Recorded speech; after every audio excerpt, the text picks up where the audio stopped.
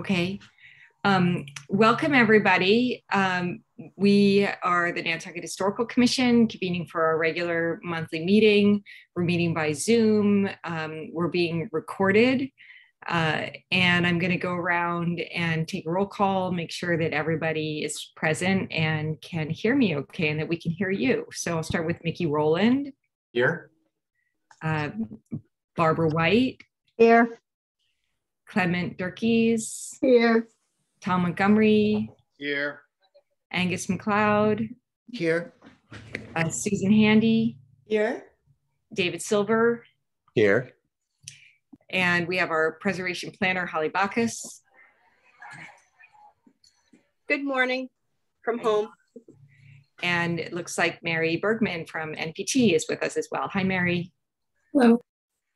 Um, great. So um, thank you all for your flexibility with meeting at 1030 today. And I know we do have some people who have to um, continue to drop off at noon or drop off right at 1230. So um, I think hopefully we'll be able to really uh, spend some time talking about our objectives for the year um, and making that really into a work plan. Um, that's the main objective for the meeting today. Um, we do have uh, some announcements and some old business. Um, I, Mary, unless you wanted to make a public comment, I'm not seeing any members of the public here for comment. Nope. Okay, um, we have some minutes. Angus sent me some typos, um, which I will correct, but are there, and we only have minutes from March 2nd, so we're still um, going to catch up with the January minutes, but any comments um, or changes other than Angus's typos to the minutes? Nope. Okay, Angus, thank you for reading the minutes. I read them. I know everybody. Thank you for catching typos. Okay, so we'll make the administrative typos and um, I will take a vote on the minutes. A motion? So moved. Second. Second. Thank you, Angus. Uh, Mickey, Aye. um, Clement, Aye. Tom, Aye. Angus, Aye. David, Aye. I am an aye. So the minutes are approved. Um, okay, some old business. So uh, some letters were in the packet. Um, we sent the letter to um, our SHPO uh, with our comments on the um, decision not to support the Three Beaver Street tax credit application.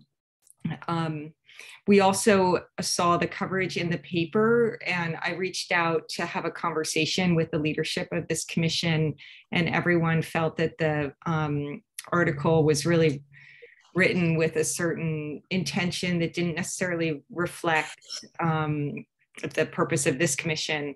And so we wrote a follow up article, um, or sorry, a follow up letter just clarifying that. Um, I hope you all are comfortable that we did that and feel that it reflected what we've discussed in the past. Did anybody want to make any comments about the um, article or the letter? No, thank you for doing that. That was an excellent clarification. Good. Any concerns about um, or comments about the letter? Okay, seeing none. Um, I also, you know, um, put in the packet a letter from the MHC, which I'm actually going to share on the screen. Um, so I, um, you know, you send over things over, you want to make sure you get them. And uh, I didn't expect any feedback on our letter, but I did want to make sure it was received. Um, and I was able to speak with Elizabeth Sherva, who is um, in charge of the tax credit program at the Massachusetts Historical Commission. And uh, uh, shared some interesting things. She told me that um, a little bit more about the process, which I think is important for us to understand um, the process at the MHC. So she said when they get the applications in, they actually have a checklist. Um, and I guess this is the see review and recommendation sheet. Um, and they go through and they look to make sure that everything that they are expecting is there. Um, and in this case, they noted, um, I think they noted that they need a letter from the Historical Commission. Anyway, they did note that they needed a letter for the Historical Commission, so that is um, something that they look for. I guess it's maybe somewhere else in here. Um, and then they uh, they make a um, suggestion for next steps, which you can see they recommended an in-depth NPS review. So they actually communicate with the Park Service. So even though there's a federal program and a state program, they communicate very closely. Um, and they send information to the Park Service. And they actually sent our letters and our comments over to the Park Service. Um, so as you can see, Tom, could you mute? What's that? Could you mute your phone because we're hearing your, you know, CB radio. My phone is not near the computer. Can you mute your Zoom? Can I use my Zoom? Could you put it on mute, your Zoom? Oh, mute. Yeah, thank you. Great. Perfect. Um, great. Okay, so um, it says that uh, the MHC had a lot of comments on this application, um, including clarification regarding how the new basement level meets flood mitigation. So what Elizabeth Sherva told me was that when they're seeing these elevations, they want the Park Service to look at whether or not the elevation is being conducted in um, compliance with the guidelines for flood mitigation that have been issued by the Park Service, which includes, you know, if you're going to elevate your structure and then you're going to put your mechanicals right in the basement on the floor, it sort of defeats the whole purpose of elevation. So they wanted to check about that, which was also a question that we had. Um, they had issues with the new entrance because they felt that you know there if you're going to recreate something if it's going to be a historic reconstruction you actually need to have documentation that really shows the original entrance so that such that you could do a historic reconstruction not just that there was an entrance there. We also had issues about that. Um, they actually had questions about the dormer and they had a lot of questions about the fireplace and it says a sizable chimney is a character defining feature of a house of this time period and they had questions about the chimney. Um, anyway, they had a lot of questions similar to ours and more. Um, and all of this was sent in at the end of January. So, and they they were waiting for um, for feedback about this so I, I, took a couple things away. First of all, you know, we got a lot of pushback um, on that we were even asking these questions. It was implied that maybe we didn't even know what a historic reconstruction was. And I think it's pretty evident that everything that we were asking was completely correct and that we were right to ask it. Um, it tells us that the MHC and the Park Service are in close communication and have systems for communicating about these things involving federal and state funds. Um, and that by following up the way we did, it was very helpful to them. Um, and that they're looking out and they want to hear from us. So that was also very helpful. And lastly, it made me want to add to our sheet, you know, our cover sheet that we developed that we might want to ask Have you received any comments from the MHC? And if yes, can we have a copy of them? Because we had this meeting in February. Yes, Tom. Yeah. Can anybody else hear that? Sounds like we're at the airport. I don't know if it's just my computer or not, but it's very disconcerting. Someone is, what, what, Holly?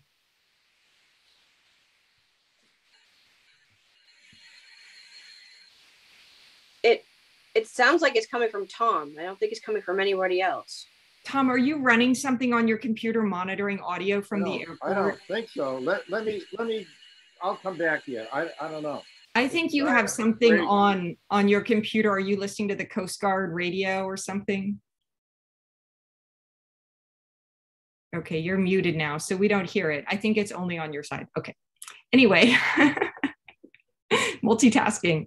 Um, and then last thing is that, you know, the applicant got all of this information at the end of January. And we asked for these photos and follow-up information in November. They provided them the morning of our meeting and then, you know, wanted to us to give feedback without any time to review anything. Um, so and they didn't share with it, they didn't disclose with us proactively that they had the same questions coming to them from the park service i mean sorry from the mass the state from the state. So i think we might want to add to our form you know if you've received feedback from the mhc could you share it with us? Um, because i think you know really to be totally on the up and up this you know the, the answer when we started asking these questions should be well the state asked us the same questions instead of you guys are wrong. How dare you ask these questions? which is kind of what i heard them saying. I don't know if other people would agree. So i'd love to hear comments. And holly you know i know you had a lot of back and forth with this applicant and that you supported this application. So if we'd love to hear from you as well. Um, I don't want to put you on the spot, but I think we all need to be aligned and pulling in the same direction, and we should decide what direction that is. Comments? Um, I, I if, it's okay, thank you. Um, I was very happy to see these comments just because of, of you know, I, I figured that they were comments.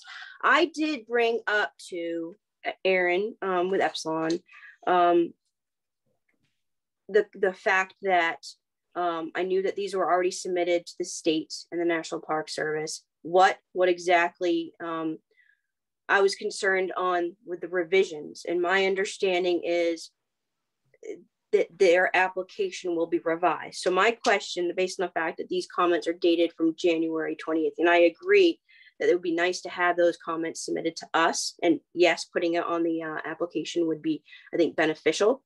Um, and, you know, I would also like to see if maybe that's a communication that the state does, if it is something that they do, um, or if that's just something we need to ask for um, from the applicant. But nonetheless, I think it's important to note that these are these are dated, like you said, from January 28th. The HDC um, reviewed it and approved it in March. So at what point, you know, there are things that have been checked. I have not, because I'm just looking at this yesterday for the first time, correlated between the plans and this of exactly what they've adjusted. Um, obviously, there's some things that they haven't, um, but um, I will also mention this. I'm still waiting for hard copy plans from the from the agent um, to move it move the COA forward. But um, I, I there's a lot of these comments in here that I, I asked, you know, um, and agree with. I will notate that the comment about you know the, the basement meeting the, the, the flood mitigation. Um, you know, one, I know this commission had really had concerns on the height increase.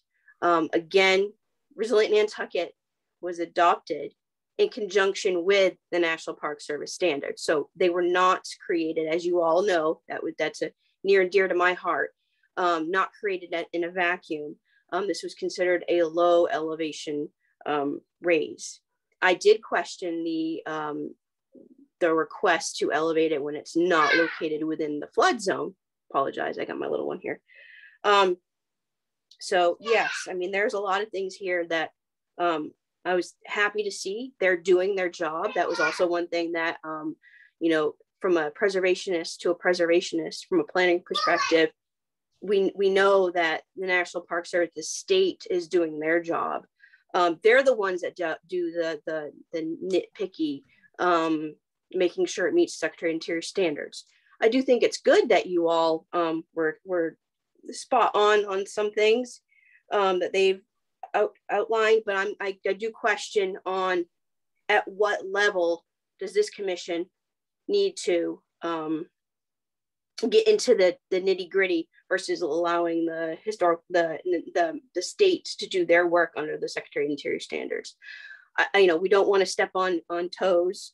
This one is a little, um, you know, it's it's it's a, a kind of a unique situation, but it's also I think a special structure. Um, I will notate this.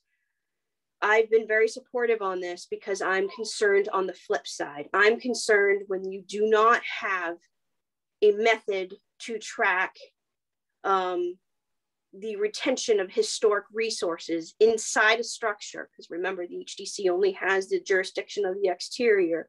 At what point is this structure going to be lost completely and, and become a gut rehab, which we know happens. So I'm trying to understand the balance between uh, saying, nope, it, this clearly doesn't meet and not give it local support when if we if we do give local support, allow the technical review, making sure it meets the Secretary of the Interior standards at the state level and the federal level. Let them make sure that the applicant meets those criterias um, and let them go through that process because again, this could be a, um, a gut rehab. And I don't want to speak for Clement being the non um, uh, I guess the opposite of everybody else's on the on the motion for support. Um, and I would love to hear her comments. Um, but maybe that she she has a similar um, concerns as I do that this would become a, a gut rehab. So those are my comments. Thank you. Thank you, Holly. I so I just want to pause for a minute. This is opening up a huge discussion that could take over our whole meeting. so we can have this discussion um, but I just, I really want to this commission to be focused on how we can be productive and spend our time in ways and on projects where we will be able to make a difference. And um, some of the things that Holly just said are really important to think about. For instance, philosophically, was 3B is uh, 3 Beaver Street has not even actually gotten its final COA from the um, HDC. So we're speaking hypothetically. Um, hypothetically, is a project as 3 Beaver Street was proposed, is it a gut renovation? Or is it not a gut renovation? And therefore, even though this, you know, a massive ancient masonry, you know, central structure was lost and had to be lost under their plan, and this structure had to be elevated and doesn't even look like a 17th century or an 18th century structure 1755 structure anymore you know but that's what needs to be done. Is that okay? You know philosophically where on this whole spectrum where do we as a commission want to be and where do we want to ask the HDC to be? Because the HDC are the only people who can really um, you know, issue these COAs, and they decided to issue this. So, could I get some feedback from folks on the commission? Do you want to talk about this more now, or do we want to move more into our work plan for the year and talk about it relative to our work plan for the year? Hillary, since I was the naysayer on this, I'd just like to say that I felt I um, was going with less information than was given. I was looking strictly at the packet um, I've heard subsequently that that chimney mass was intact not too long ago. Someone else who looked at the property and thought about buying it, and the chimney mass was there at the time. So um, I I sort of I mean I agree with Holly that we maybe should be lenient, but on the other hand, is the Park Service are they relying on us to be strict. I feel like they are. So anyway, I think this discussion needs to continue about how we look at each project going forward. I would definitely say that with the information I know now, I think this is a gut rehab. And, um, but I do think we shouldn't waste our time talking about this particular project anymore. We've done what we can. The Park Service has done what they can. Um, let's try to establish criteria going forward. Thank you. Okay. Does anyone want to second what Clement said? Yeah, Tom? Uh, maybe we do need to discuss this some more, but we've already spent one hour in two different meetings discussing this, and we only get two hours.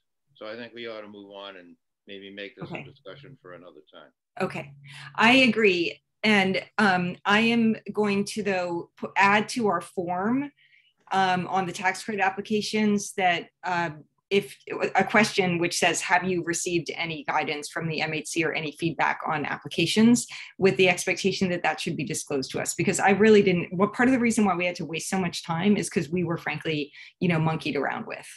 Um, and we didn't, you know, so I don't want that to happen anymore.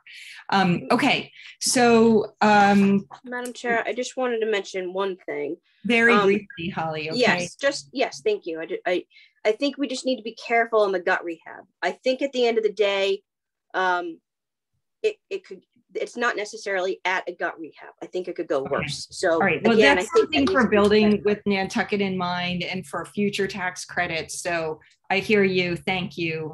I, I, I understand why you're saying what you're saying, and I think everybody on the commission does, Holly.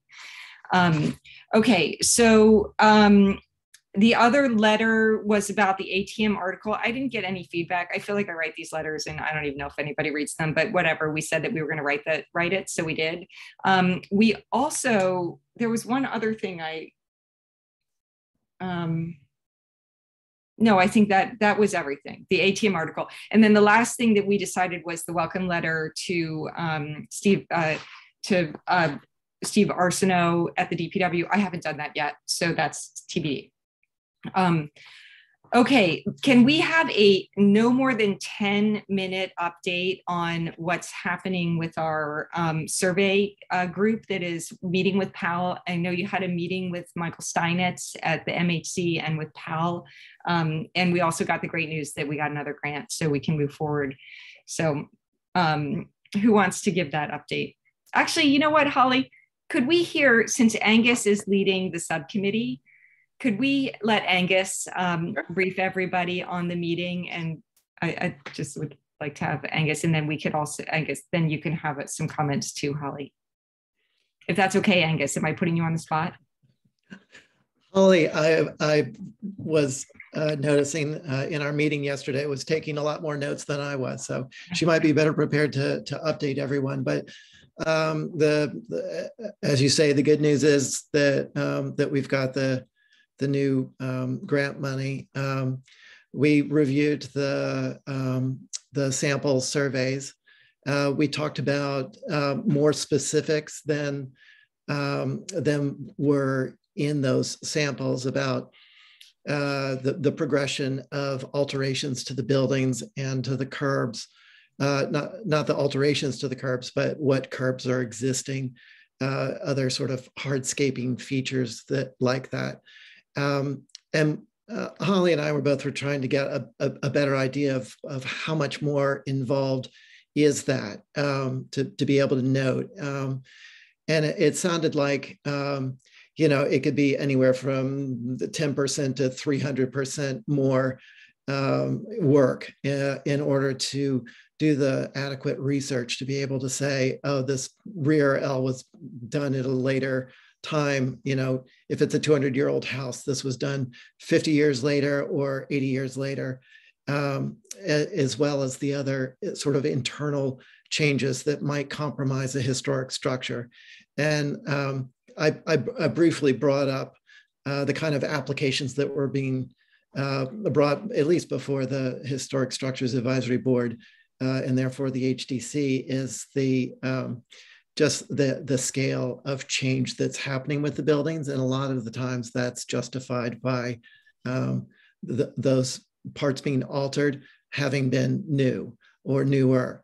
Um, so uh, that, that's still a concern. And Holly uh, mentioned that there was some room to move with the budget, um, but but you know aligning that with how much extra um, information we would want in those forms.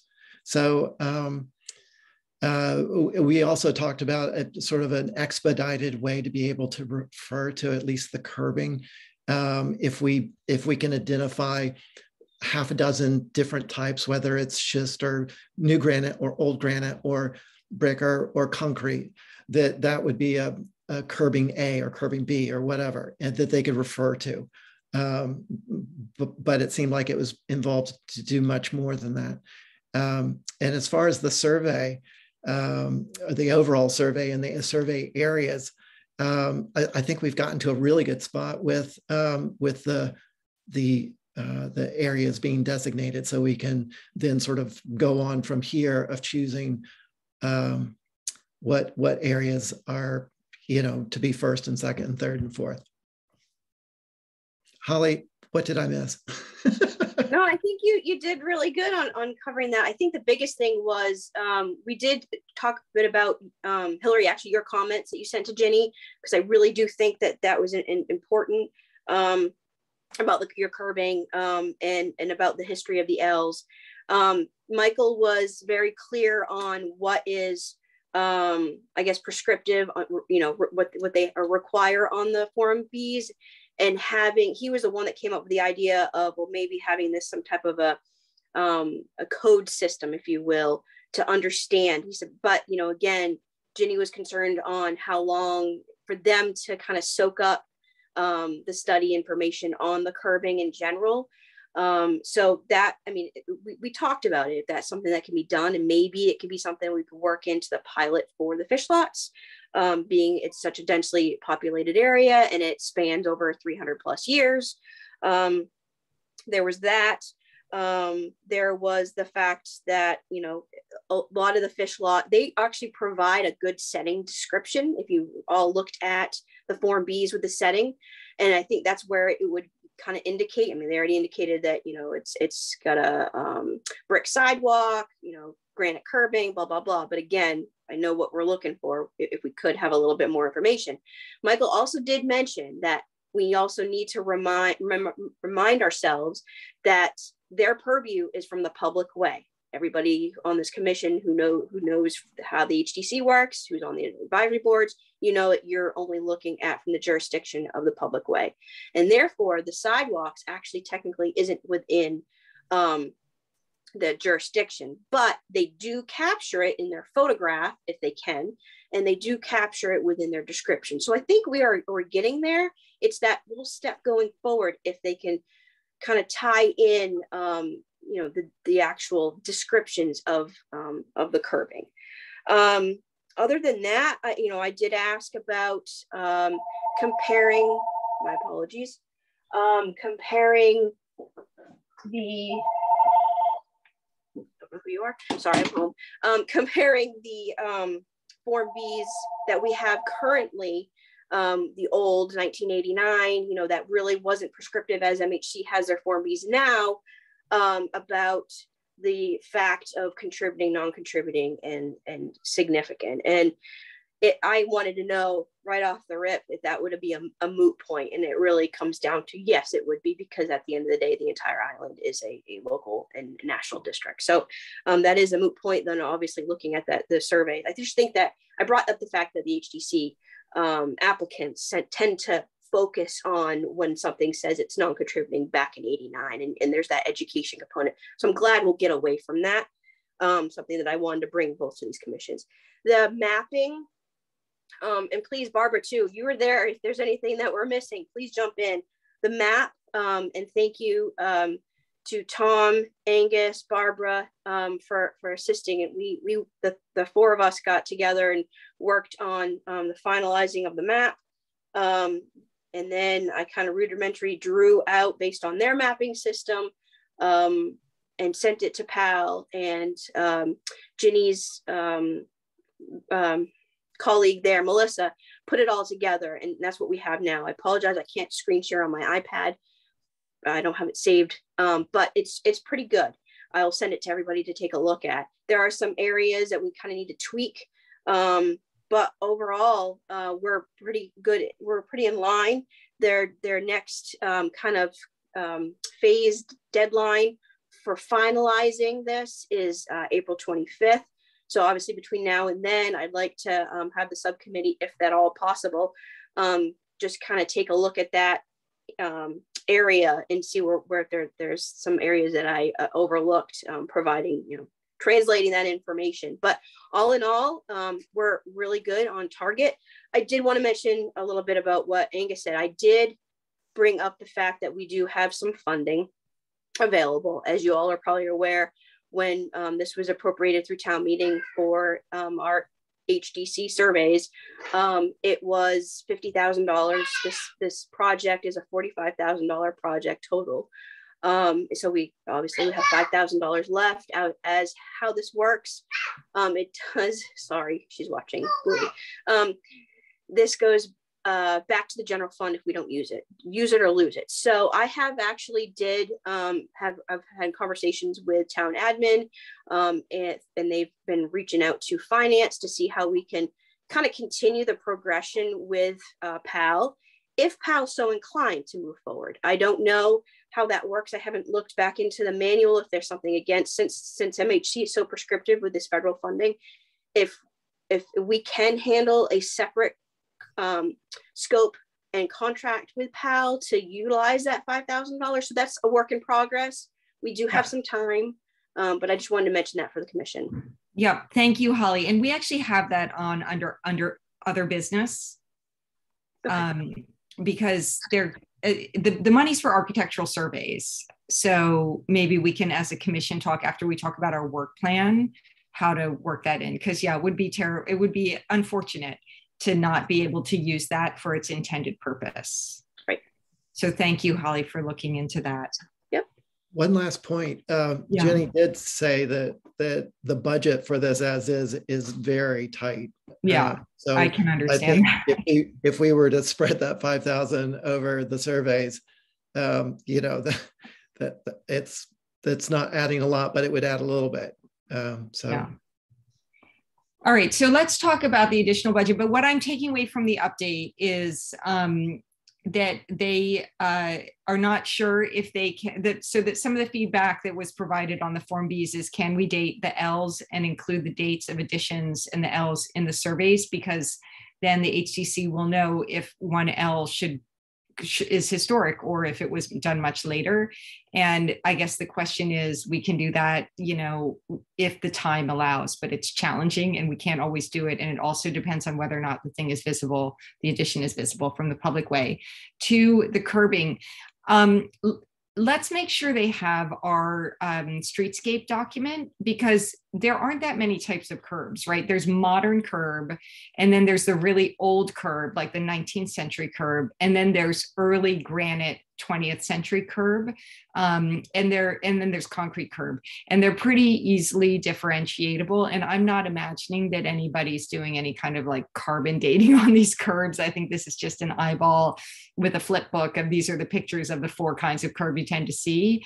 And um, i think hopefully that should be easily answered because we did try to take photographs and identify all of that type of curb in our booklet um, and then I heard that we're pretty much on track and um, you guys are are moving this ahead the next check-in is going to be at the end of april oh and the map i would love for the map with the neighborhood with the um, designations the whole island map to be distributed to this commission could that go around so that everybody could see it Yeah, I mentioned that. Yep, I will forward okay that. great I okay. literally just received it Wednesday, and I was out of the office. But yeah, we we do. Um, we can send that out. I just want to mention real quick about the the curbs.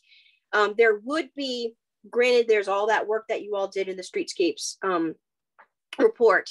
Um, there would be some sort of like disclaimer um, that that PAL would indicate saying that you know, due to time res- restraints, you know, they're not liable for including you know the wrong information for the curbing because again this is something in addition to what they would typically be doing so i just want to mention that yeah that's fine okay uh, tom May I, may I ask um, something of uh, maybe I guess uh, Holly?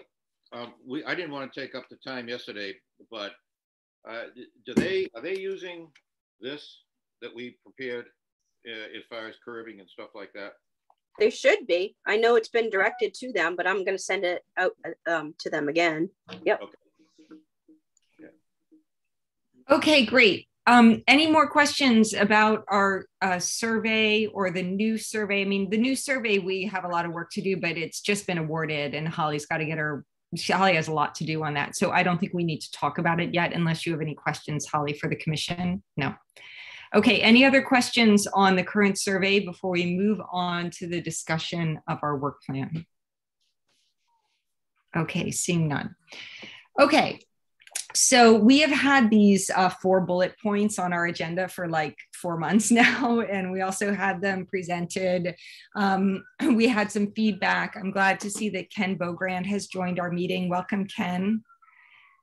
Um, we uh, we had some feedback with questions and concerns, which of course we want to be sensitive to and respond to. Um, Susan Handy and I also had a chance to talk about bullet point number two a little bit and had some additional thoughts about that. Um, but I just want to frame the discussion first. You know, these were ideas that we came up with at the um, in the sum at the end of the summer in preparation for a presentation to the um, oh,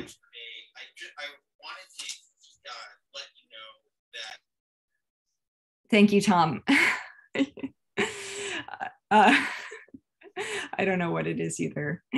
Um, so yeah, you're muted now, so we can't hear you, but hopefully.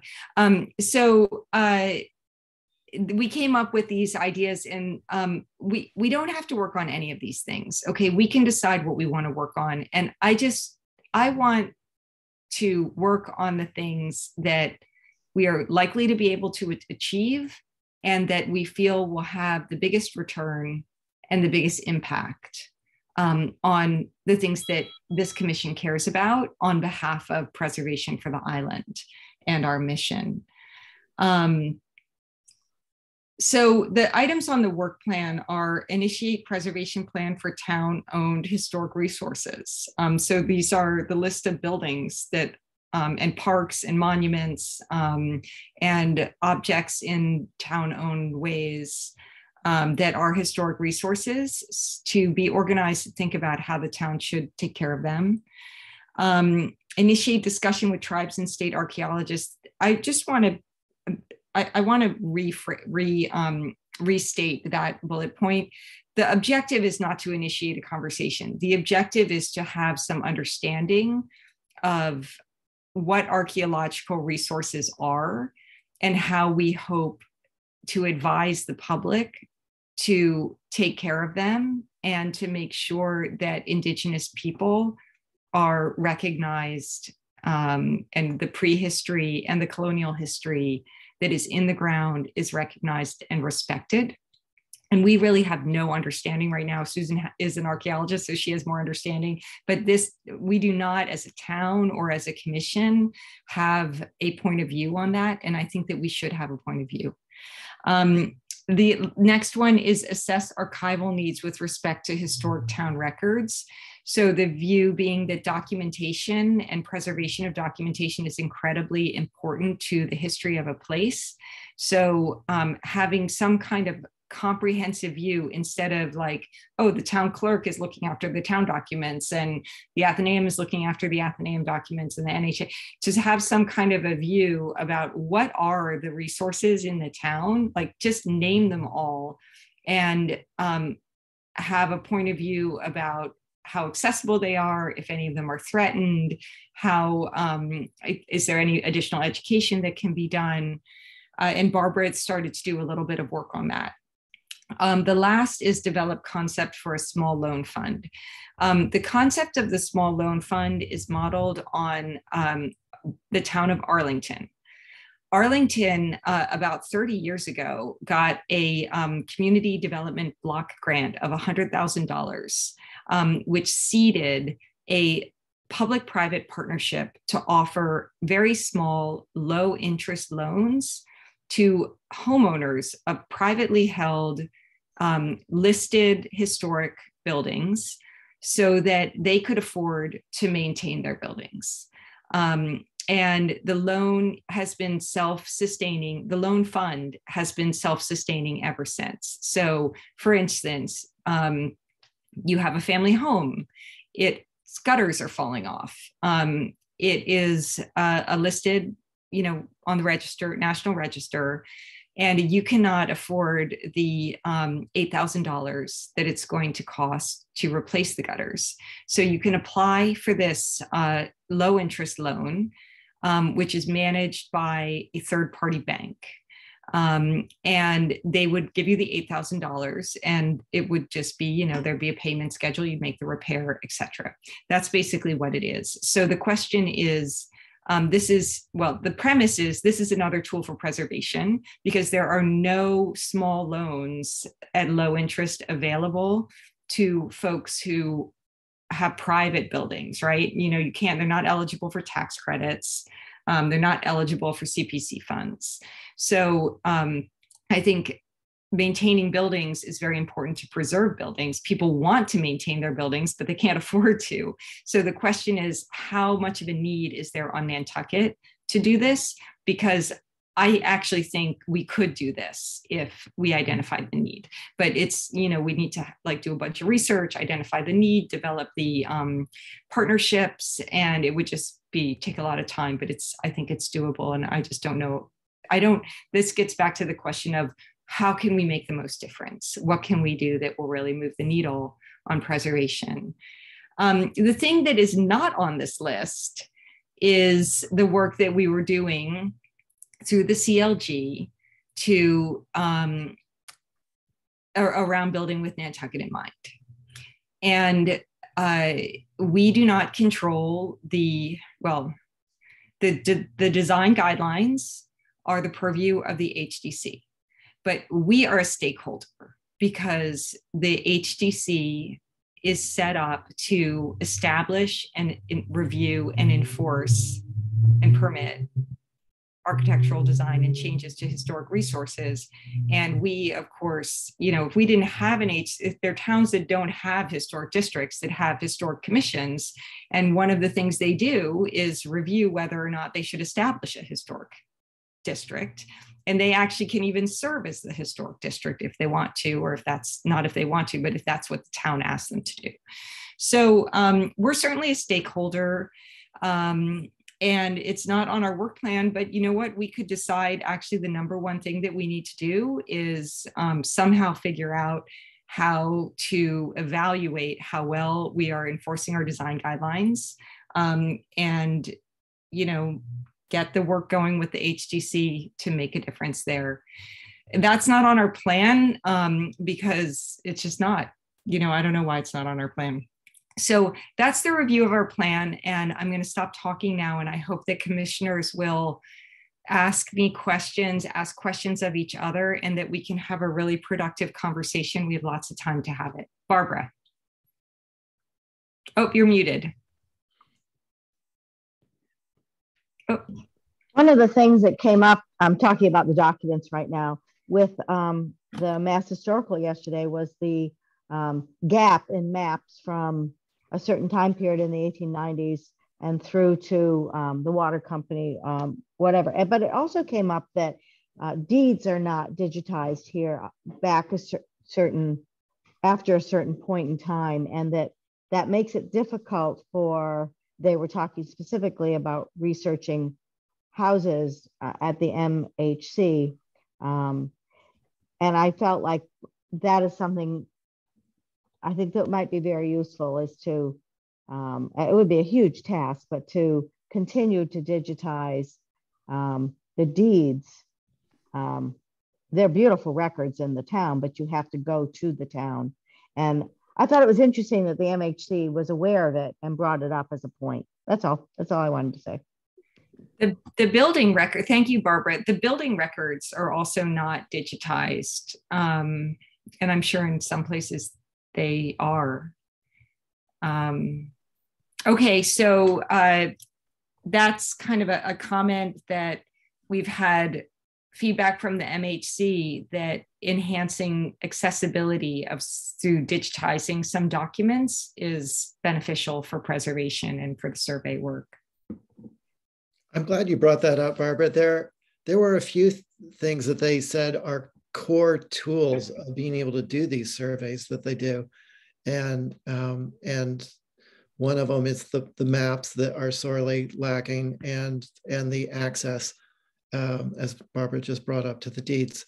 So um, it's uh, the, the, it's it's I, I couldn't help but to think during the meeting this is so ironic this is one of the most historic places with the least amount of historic information so um, however we can make that easier for um, you know future surveyors uh, and historians and preservationists the the better other comments about um, this potential project of archival needs? Ken, did you, I'd love to include you in this in this discussion as well, Ken, because you know a lot about these things as well. Well, the when requests have been made uh, by, for instance, the town clerk, uh, and in some instances by the assessor's office relative to digitizing, uh, that, that is something that uh, the CPC is uh, eligible to make awards for. And so we have responded to requests in a positive way. Uh, so uh, uh, we don't initiate that, but but it is an area of historic preservation that CPC uh, is eligible to uh, award funds for. Ooh, Madam Chair, may I ask a question yes. Ken? Yes. Um, I'm wondering on that note, if if maybe as a any NHC's work plan to help emphasize that, would it be beneficial for this commission to um, help applicants like the registry of deeds, like town clerk's office, if they are applying for CPC funds, to provide a, a letter of support in that effort? Um, if that would be beneficial or if that would be just, you know, a waste of time. I'm just, I'm trying to find no. where this commission could help. Well, a, a, letter of support is obviously uh, beneficial because it's one of the things that we look for in terms. It's one of the conditions of the application itself to the CPC to be able to have an understanding that this is a beneficial need for the entire community. So uh, the, the, the, the purpose of it, the accessibility of it, and, and the reason why it's important to the community are all factors that go into the decision-making process as to prioritization of the use of the various funds in the different categories that the CPC allocates. Thank you. I think that's that's something that this commission should notate um, and and could help in that regard. Um, the CPC, I think it's been around for over 20 years now. I was probably the only uh, uh, teenager that was um, supporting it when it was getting passed through town meeting. And um, I think oh, there's a lot of people that don't really understand what it does um, at times. And maybe this commission could help um, in that regard as well. So thank you. Appreciate that, Ken. Other comments or questions on a project around records? Anything anybody knows or any experiences people have had in trying to do research or encountering different town departments? And yeah, Barbara. I think maybe we should start simple with what you started by saying is note in a document or do an exploratory is where town records are. For example, Comet Water Company, the HDC, you know, I mean, the, um, well, the, even the HDC, but where the documents are. And then from there, we could do a needs assessment as to which ones are priority. When I was in the town records last week looking at marriage and deaths from the 1703s, and they are really very difficult to read. They're very faded and I was I was eh, looking at them um, with gloves on. You know, I was aware of so very how very fragile they are, um, and I'm sure that we could come up with with some research studies as to which are the oldest and which would be the most valuable. So, I mean, listening to the MHC people yesterday, you know, it led me to think maybe the deeds are the most important. Um, that wouldn't be my priority, but that, you know, yeah. So I think maybe we should start simple and find out where are they, what are they, and and then go and then ask the various yeah. organizations which ones would you like to see digitized. That'd be my think, start. I think that's a great suggestion. And I just want to comment to remind everybody that the Historical Commission is not only interested in buildings. I mean, a historical commission looks after the history of the town as well. David, you had a comment? Yeah, I was going to say I, I, I can't recall when exactly it happened, but the health department, I believe, digitized most of their records. And something that I noted just in in doing research, just as part of work, is that oftentimes you know the quality of the scanning doesn't it doesn't translate and i think that's just something to notate as as we look to digitize a lot of these records like barbara was saying you know with stuff that's hard to hard to read when you're holding it in your hands you do lose, you know, image quality when, when you're digitizing. So I think making that, you know, we don't want to waste time. So yeah. Yeah, you know, when I was preparing, when I was working on the CPC grant uh, for the sidewalks, which by the way had, I think, six letters of support from the community and didn't get a single positive vote at the CPC. Sorry, just saying um, that there, I, I went through the um, the application for digitizing records, um, and one of the complaints or one of the kind of premises for wanting to do archival preservation of the deeds that the assessor's office made was that they had digitized everything. And so the new financial um, uh, the head of director of finance wanted to like shred all of these old documents and they had to point out that you couldn't read the digital scans. Um, and that you know shredding these documents would be a travesty and now they're beautifully preserved as barbara had said Holly. I just want to mention on that note, um, there's a difference between scanning something and archival scanning. Um, mm-hmm. That was one thing that I actually learned as an intern at the Historical Association after I was an intern at NPT. Um, and yes, that, that is very, very important. And that's why we're being able to see more and more of our um, historic resources being scanned and available on NHA's website. And, and the fact that you can search them and not have to pay for them is another uh, added bonus to this community. So mm-hmm. yes, there's a big difference between the types of scans. Um, and that would be something to also notate in that um, kind of summary, if you will. Yeah, that needs assessment.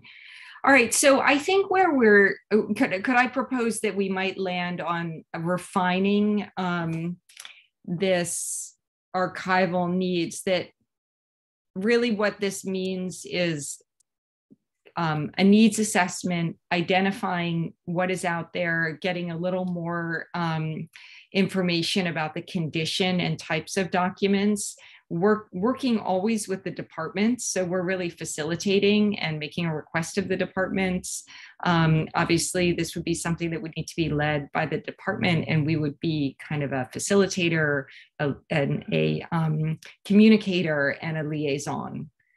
Um, and that, that that would be actually a really nice project. I mean, Barbara, I would love to work with you on this project, um, which you know we talked about in the past. So I guess that's just sort of one thing that's out there. That any other refinement of that as a summary of what that project would be? No. Okay. Um, so moving on, who is excited about another just uh, topic on this that would like to initiate a discussion about one of these projects? Yes, I see Georgia raising her hand. Oh, but you're muted, Georgia. I can't hear you. But you're not muted. Oh, there you are. Um, I've always, I have always, like from my days at the Preservation Trust, been excited about the idea of a small loan fund. I know it's a very big idea and it's sort of a massive, but to be able to help people who have historic houses keep those houses in good condition um, is just a major part of helpful being helpful to the community in a real way. And I know, I, I, as I said, it's a very big idea, and how we would go about starting it, I'm I'm not sure, uh, but it's a very it's just critical. It's the next thing to what we were talking about in the CLG setting up a place where you can recycle your interior elements that you're not going to use again. Those two big items to keep our historic fabric as intact as possible. But if you're if you want to keep an historic house in a reasonable condition and you don't have a whole lot of money to do it with, there's not a lot not a lot of ways we can help you except if we have some kind of local fund local bank or a presence of a national bank on island that has a local pulse um, to help create this kind of fund. And I'd like, I don't know how we would start it, but I'd like to start talking about it here or with local bankers. So how, uh, so I actually think the bankers would be the, I think we could do that, but I think we would need to go to them and say, this is the size of the market. These are how many people would be. So how would we go about figuring out how many customers there would be for a loan fund like this on Nantucket? Good question. I think probably have to talk to maybe real estate agents and see who knows who knows the market of what's out there and who's in them, who's in those houses. Anyone have a ideas about this? How we would figure I may be misapprehending this because certainly a lot of people who love historic houses don't necessarily own them. I mean, a lot of people on Nantucket don't own the houses they live in. And a lot of, a lot of newer houses on Nantucket are not historic. So, you know, the, the fabric has changed even in the last 20 years. So I'd like, it, it's hard to get your hands around how, what that market really is these days. I think there's a lot of historic resort structures that are owned by folks that, that just don't have the means. Um, they're they're that are elderly too that are living in their old house that can't you know have their windows replaced um, or I should say restored. Um, you know th- there are quite a few I think people that are in that Yeah, boat. Um, so I, I see the benefit. How do we identify them, Holly? How do we, I mean, how do we quantify that market? Yeah, quantify. So, you know, how many houses are there built before 1975, right? Because these are listed structures. Yep. Um, and they really could be mid-century structures. I mean, this is, Mhm. I think we we identified it as pre-1975. So how do we get a number of the a, a? Holly, how do we get a count of how many structures are pre-1975? That we should be able to do. Um, I believe there is a count that was recently done. Um, I want to say the NHL uh, update actually has that in there. Well, that said there were 5,000. Hmm. Um, I know it's been done. So do we do a survey? Like, do we, um, do we do a survey of would you be interested in this? You know, we need, we need something to take to the bank. And I think maybe Cape Cod five would be a good candidate, but we should take it to more than one bank and say, this is, you know, how many structures there are. Plus we did this survey, you know, um, and we had this sort of interaction. Yeah, David? I was going to say, is it possible to, and, and maybe I know this better than you guys, but extract data from the MLS, take the properties that we've identified pre 1975, and and run some run some sort of function that would kind of weed out properties that have been transacted, let's just say in the last five or ten years. So I would guess that properties that haven't sold re- more recently might be more in need. I think that's at least one filter that we could take that data set to try and identify some of the properties. That's a good Yeah. idea. Agreed. The only thing with the MLS, no offense to, to you, No, I David, but I have found um, issues with MLS anywhere. I, I think that's nationwide. Um, but no, I do think that's a that's, that would Good help. start. Yep. Good start. You know, it would be amazing if we could have a real estate partner, like a, a real estate firm that wanted to help us as a pro bono. And um, it'd be great. Uh, I just have a, I just have an economic question. Yeah. Uh, I, I mean, where is the money going to come from? The, the bank, the bank is is in fact not going to be uh, providing a, a free loan. Uh, and if the person doesn't have enough money to, in fact, be able to repair uh, the gutters, they're not going to have enough money to make a, a, a mortgage payment with respect to this. Uh, Right. and and and and I mean, what what's happened is is that this happened a while before, where the state, in fact, provided money about 15 years ago, and the state state funding was in fact put in place for this, and it was a a basically an interest-free loan that if you lived in your house, you made the repairs uh, as long as you lived in it for 15 years, one fifteenth of the amount of money disappeared at the end of each year. So at the end of 15 years, the mortgage was in fact effectively paid back. But but that was because there was a pot of money there that would be able to be used. So unless you have a pot of money that you're going to be able to find, and unless you have the ability to administer this, I, I think you guys are venturing off on, a, on a, a challenge that that has a lot of re, a significant amount of detail and administration involved that that I'm not sure uh, we as a committee are structured to be able to address. Now, that's not the saying that you can't find a solution to it, but I think you need to really understand that those are the two critical issues r- with respect to it. Where's the money come from and how are you going to administer it and how are you going to monitor it and how does it get paid back?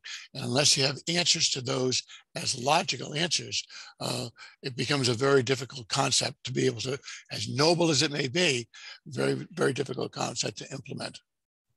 Thank you, Ken. David?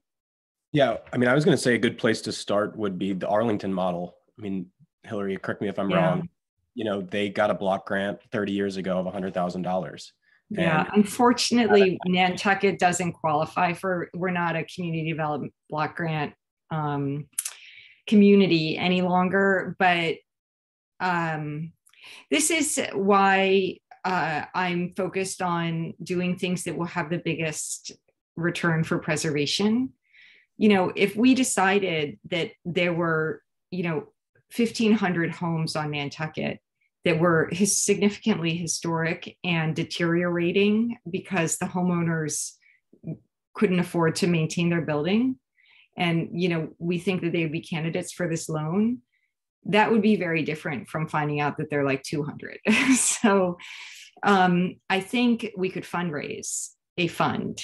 And this is where you know we i we have to um, be a like lubricant for the system, right? So we have to bring information, ideas, energy, connect them with people who want to do good, and um, kind of push these projects forward uh, without taking on the burden of administration ourselves because we don't have, you know, we're just a commission. But yeah, Georgia.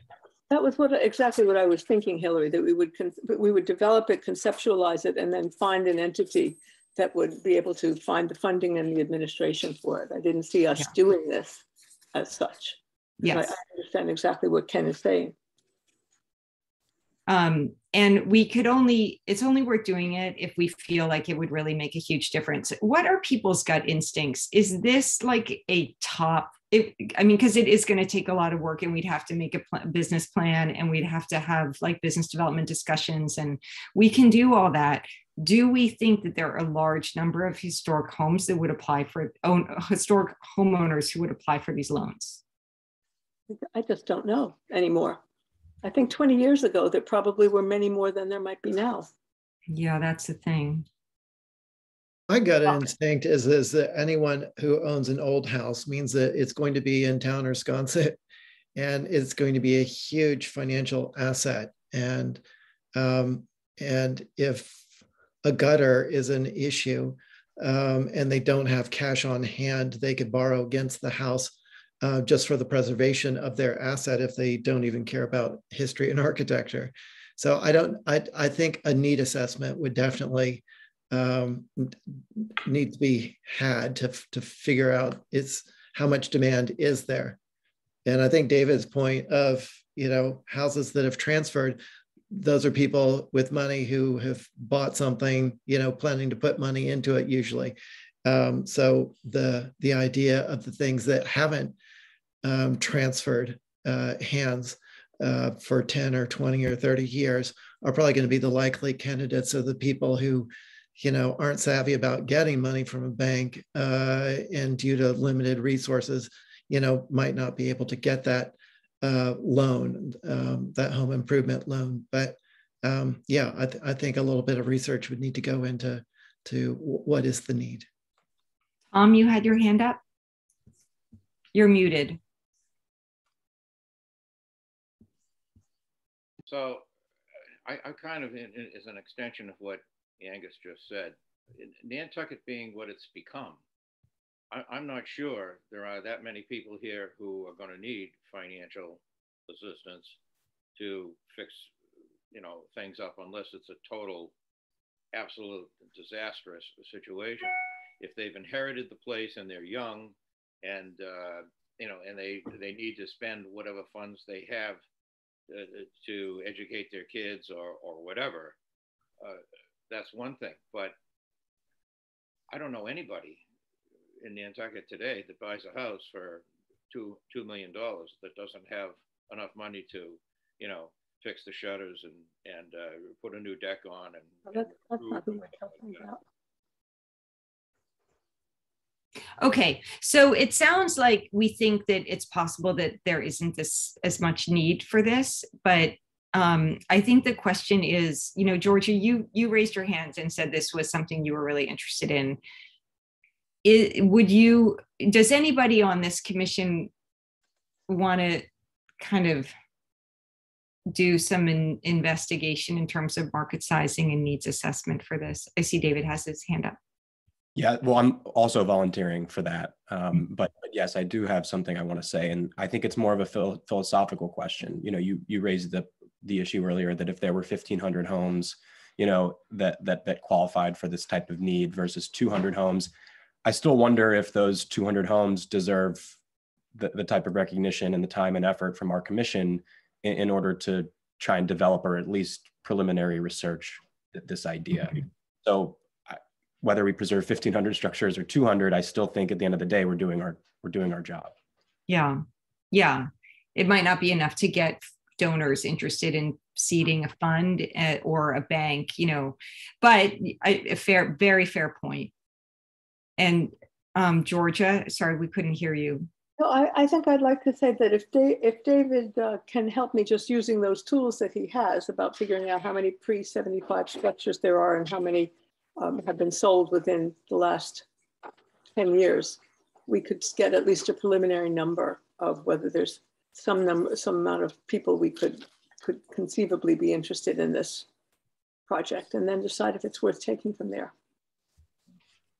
That would be amazing. And I'm, I'm sure Holly can help with uh, her records as well. Yeah. And if you come back, okay, so we, we can be your first people you need to convince that this is a worthwhile project. And if everybody is convinced that it is based on what you find out, um, you know, I know the um, the the local president of Cape Cod Five, they did a solar fund. I could see this as being maybe similar. You know, they set up a special loan program for people wanting to do solar projects. Um, and uh, and then we of course, oh, you know what? I did. I actually do have a better answer to where the money is could possibly come from, Ken. Um, wind mitigation fund. The wind mitigation fund, which is not yet set up. Well, let's deal with that when we get to it, Hillary. Yeah. So anyway, I'm just saying that I think there are enough kind of there's enough potential, but we have to to to be convinced that it's really worth doing. Okay. Can we move on to other ideas? Unfortunately, I have to leave, Hillary. Thank oh, you. Thank you all well, for listening. Georgia, thank you so much for raising your hand for this. And um, I can't wait to see what you and David come back with. I'll email you, David. Okay. Sounds good, Georgia. Okay, thanks. Um, okay, the other topics, um, the preservation plan for town-owned historic resources. Um, so this is something that the idea was that the town, you know, the federal government has, in other towns, um, have passed, you know, you don't have to pass a law. Some people have that. I mean, there is a bylaw that a town could choose to adopt that is similar to the Preservation, uh, the Historic um, Resources Protection Act of 1966, where a town says they will not expend their own funds um, in ways that adversely affect historic resources. So there are town versions of that that could be adopted. But short of that, there's also just the idea of having a preservation plan to make sure that the town is well educated and well informed about what historic resources it has. Um, and um, we have set a little bit of money in the budget, $5,000, which I think would pay for um, surveys, at least surveys of town owned historic resources. Um, and I wondered what people thought about that. I was thinking the same thing that $5,000 that you referred to is, I think if you, you know, there's, I, I tried to put together a list of his town owned historic properties and there's a fair amount of them. The buildings the only buildings I can come up with are the Jetties building, the town hall, and the fire station. And um, I don't know what, what kind of historic information or surveys we have on those buildings.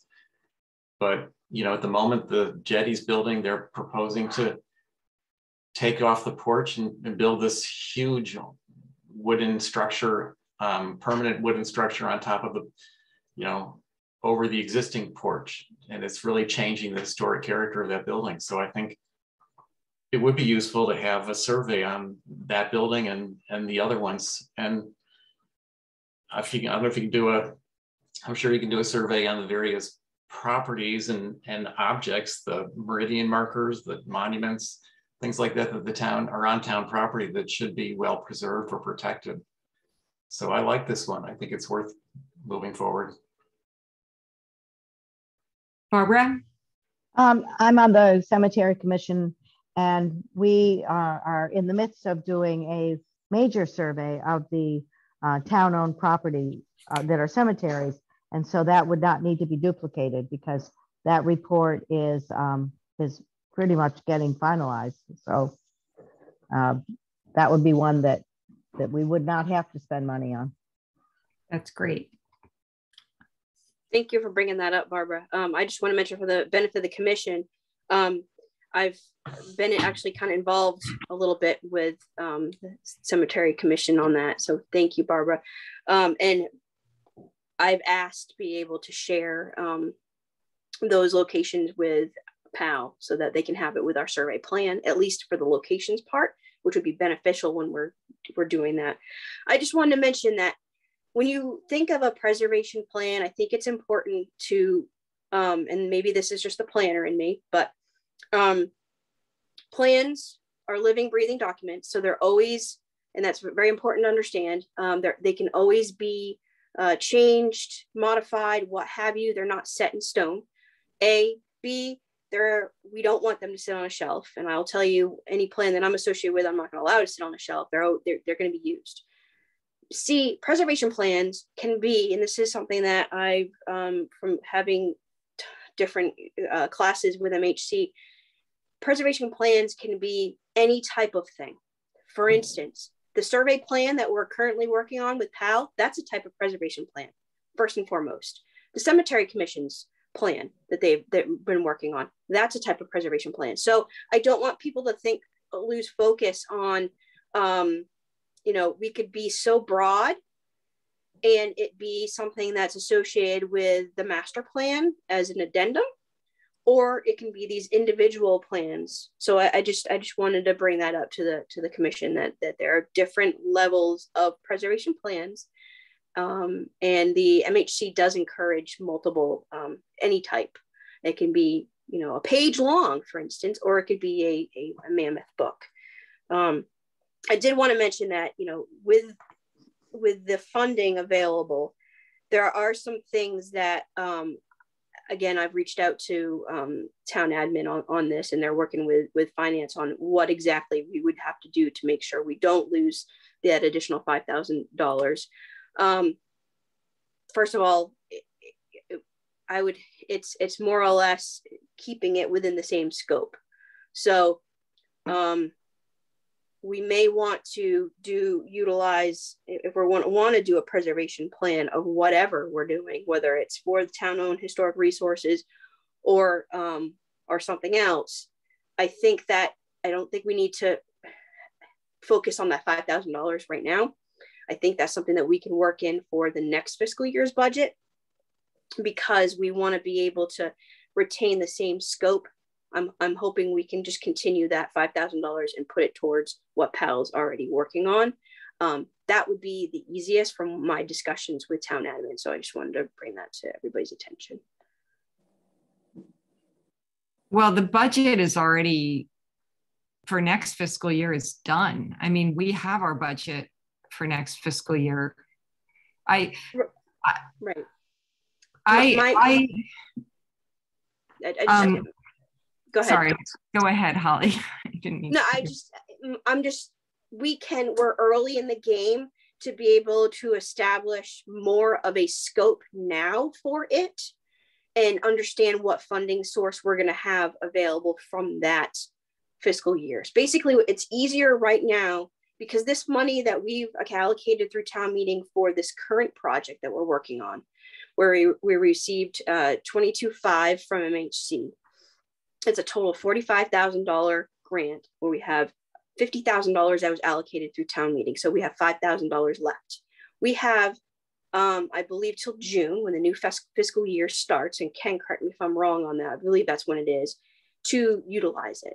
Um, yes. It's easier to retain um, and continue with for, through procurement reasons, through the scoping contract reasons to actually just do a scope specifically for that $5,000 that we have to continue the work that PAL's doing. Again, sidebar, um, if PAL is inclined to, to actually do that with us. And I formulated an email to Ginny. I just haven't hit sent yet. Okay. Um, but that is in the work in progress. Um, okay. Versus doing an actually completely new yeah. project. That's yeah, I get it. I get it. So here's what I would like to propose. Um, Mickey went through and identified a, a, cursory basis, and Holly also probably knows this, you know, off the top of her head, that which structures the town owns that actually are historic. We don't have Form Bs for any of those structures. We have a lot of information from the um, uh, PIN, the Preservation Institute Nantucket, on the jetties. But like the fire station, the town hall, the town hall is not even considered historic by the town. But you know, so um, and the fire station is like actually quite historic. So um, what if we asked Pal, keeping in mind the advice that Holly just gave us, if um, if we gave if we generated the list, we got Holly, you know, Mickey and Holly worked together, got the list, showed it to Ken, got you know, Ken can help make sure the list is right, and then we ask Pal to give us a quote for doing the Form Bs, because producing architectural surveys on buildings is what this money is allocated for. And um, what we need are some, you know, architectural surveys of these buildings. And a preservation plan is actually, you know, as you said, Holly, an evolution, it relies on these surveys. So I think any kind of preservation plan needs to work with the facilities plan. Um, and it's a longer conversation. But just getting the data and getting the building surveyed and the Form Bs created, I think that would have a lot of value to the town, is within our scope, and we have money earmarked for it. And that's what I would propose we do. I just have a comment, Hillary. I, yeah. I, if, if, if, if we're going to be talking about setting up a preservation plan, I think then we should look at the different aspects of preservation that we're concerned about. Uh, Mickey started out with, with talking about buildings. So there, there's a preservation plan with respect to buildings. He then talked about monuments and, and, and things. So there should be a preservation plan with respect to what we do or know about uh, the different monuments that are in the ground or out uh, on the middle of the road. Uh, and then the third area is preservation of documents that we talked about earlier. Um, and then is there a fourth category that, that we should be thinking about in terms of what's important from a historical perspective and have a definition of the scope of a plan with respect to how you deal with those and don't have to do all of it at one point in time, but but then then what what you then developing is a a, um, a scope of what a preservation plan preservation plan is and looks at the different aspects of the community's assets, uh, which should be covered within a outline of, of, a, of a plan to be able to preserve those assets. Just a thought. Yeah, so I, I guess what I'm suggesting is this first bullet point, initiate preservation plan for town owned historic resources, is that I'm suggesting that we revise that to be um, generate Form Bs, you know, MHC uh, Form Bs, which are building forms for town owned structures. And get our current consultant yeah. to quote on it if they can do that and, yeah. and get it allocated before June when we lose the money. Yeah. Okay. Yeah. And that's again that why I brought up the fact that there's certain levels of preservation plan, but what Ken is referring to you know that's be something I, think would be very beneficial um, at some point down the road. But I, I do agree that the Form Bs, the updating the HDC surveys, um, as they've been called for the last 60 years or so, um, is is important and it's not it's not just an important aspect of the HDC and the historical commission and now is the joint CLG but it's mm. also something that's been addressed and um, mentioned within our master plan so it is a town functionality, and quite frankly, even the strategic plan from the select board as historic preservation is outlined. So um, yeah, I think that might be a, a good avenue. I just I needed to do uh, I needed to reach out to um, town admin on that though.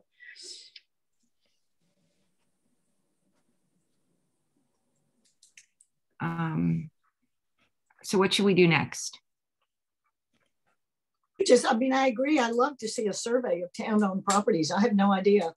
I mean, Mickey rattled off a few, but I have no. There aren't. There aren't many. There are three. There aren't many? Oh, Um, I would beg to differ, um, because if you if you bring in the fact that we have the Meridian stones, which are in town um, right of ways, those those are historic Yeah, resources. no, no, I'm not, I'm- I, I wouldn't Oh. tell you about, I was talking about buildings as opposed to property. Oh, buildings itself. Yeah, yeah. Um, Land Bank owns a historic structure. I that's a ta- quasi town uh, function. There, there's your structure. Um, there's a few. There's Yeah, a few. there's, Now there's, maybe I there's think not over the much. No, I don't think there's a lot, but if you add in the other monuments, and again, those those could be um That was my the second category. Holly. Yeah, Yeah, yeah. my- so my those, second- those my would get those would get object forms. So there's Correct. a form O's, I guess, for objects. So and we don't and the cemetery's already been done being done. So Right. Mickey, could I would you have the interest in coming working with Holly to come up with the list and liaising with Holly about whether or not we can, you know, how we get this m- money deployed? You're talking specifically about buildings, it sounds like. Well, no, I mean, I think I think we should have a list of resources and then we should figure out how far the money will go as far as the surveys. But the the, the work product are to produce surveys of the town-owned historic resources, and that will be a mix of objects and uh, yeah. So, you know, I'd started this list already and I've got the meridian markers besides the buildings, the monument, the obelisk on Main Street, cemeteries, Barbara's already said it's taken care of. Um, the Kennedy bunker, can we throw that in? Is that his a that's historic town, property? That's historic.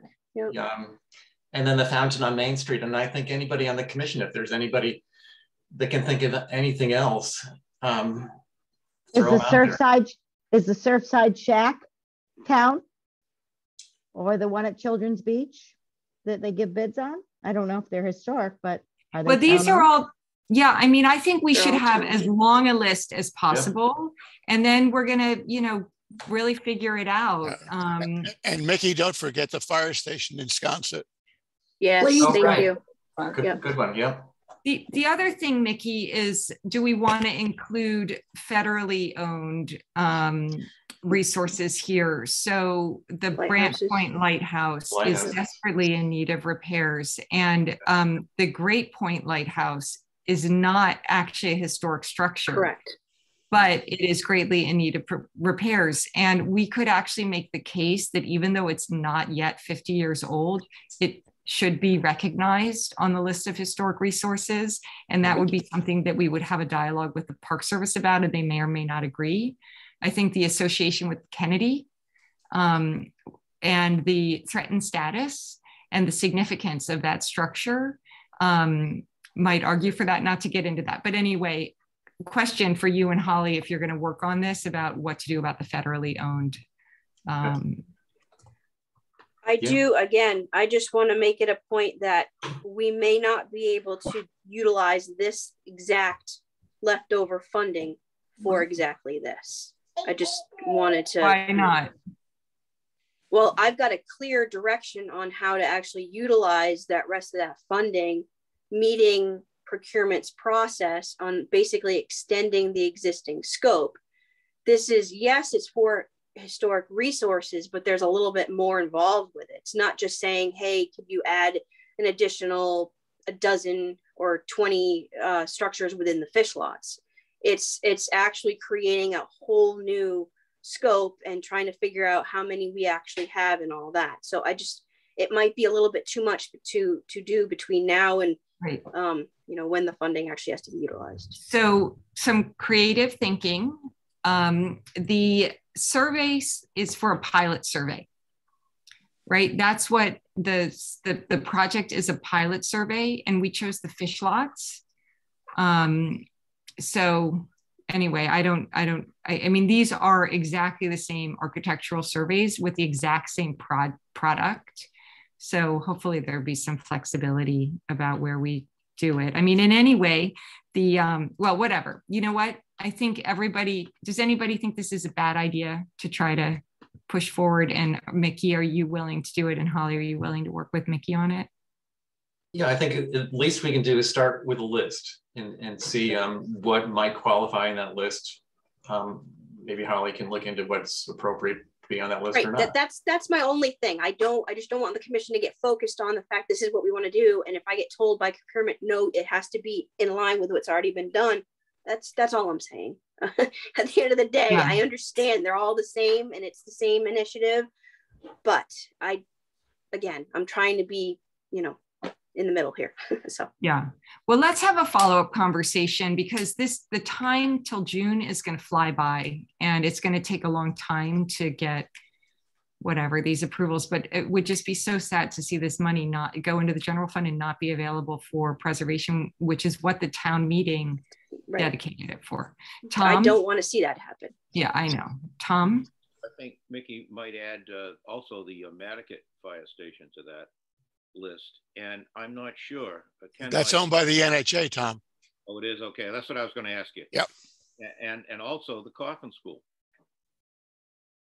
That's not owned, is that owned by the town? that's Well, not owned by the town as far as i know Town has jurisdiction over a lot because we, we uh, gave up a lot of our right to that when uh, we, we applied for CPC money. Okay. That's why I'm asking Well- that. I mean, I don't, I don't know that myself. I'm the president of the Board of Trustees there, but I don't know that. Okay, well, let's, everybody give your ideas to Mickey, okay? And he can process them. Okay, um, so we have this meeting set to twelve thirty. It, do we have everybody to twelve thirty or are there peop other people? I know Clement, we lost Clement in Georgia, but, No, and, and I've got about four more minutes, so. okay. All right, so the next thing on the list is um, tribes and state archaeologists. Uh, so Susan and I um, talked about this and had a um, some ideas about how to move forward. You can see I put some emails in the packet, which was an email exchange where I communicated some questions to the uh, local government coordinator representative, Jennifer Doherty, who is our contact when we have questions at MHC. And I haven't heard back from her. Uh, she forwarded our inquiry with to the state archaeologist. Um, the question is, how do you do an archae? Does anybody do archaeological plans? Pre- you know, I'm going to just share my screen so I can remember what I asked her. Uh, um, okay. Can everybody see? Uh, okay. So uh, I said, referrals about planning for archaeological resources. Is there such a thing as an archaeological preservation plan? How might Nantucket go about exploring whether to undertake such planning effort? And she said, I forwarded, yes, archaeological reconnaissance and preservation plans are something that communities do. We occasionally get requests for funding them through the surveying grant program. Um, and I asked her about other sources of money, and she said she didn't know. And to ask, she said, go to the National Park Service grants page or the National Association of THPOs, which are the Tribal Historic Preservation Officers. Um, so what, Susan, Susan, do you want to talk a little bit about this and what we talked about? Or do you want, I don't want to put you on the Um, spot. I, I might just uh, say a few uh, comments, and that is that when we start to discuss and think about um, planning for archaeological resources, I know that you know everybody thinks primarily about the um, indigenous people and that part of archaeology as being archaeology. But I think you also have to, in listening to all the discussions um, about historic structures and especially um, the most recent discussions with basements and masonry and kind of the base structure, uh, structure of buildings, that that is historic archaeology as well.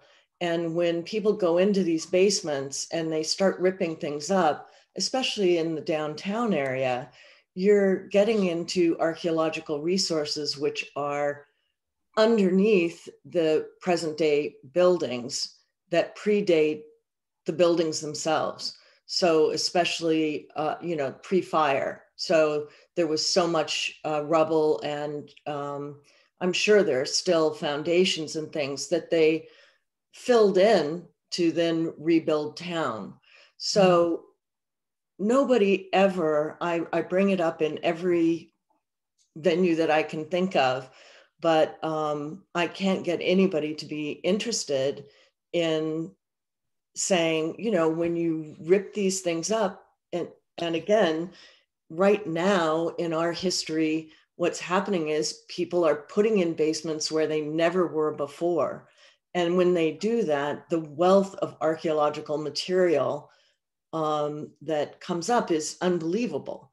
Now, how do we deal with that? And are we interested in trying to deal with that because it basically is interior work, even though it's not structural interior work? Um, or are we, do we create a separate category that's prehistoric? And Hillary, I know that I've mentioned to you that I'm also interested in the whole waterfront and underwater archaeology as well um, which is, uh, as far as I know, never been discussed um, uh, in any town meeting that I've ever heard of. So um, the whole waterfront is just fascinating.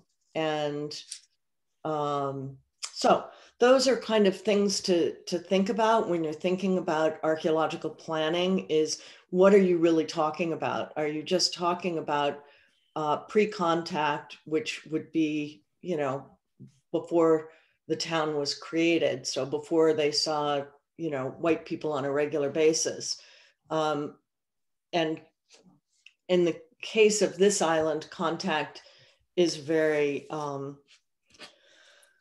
uh, I, I, don't know when it actually was because obviously there was trading going on here um, all the time in the islands. Um, you know, since the very first contact uh, that they ever had with Europeans.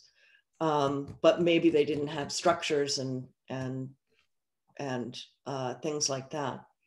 So um, I think it's extremely important. Um, the other issue that you and I have talked about, Hillary, is that when you when you talk about um, prehistoric, especially, and cemeteries, um, of course, are a big part of that here on the island.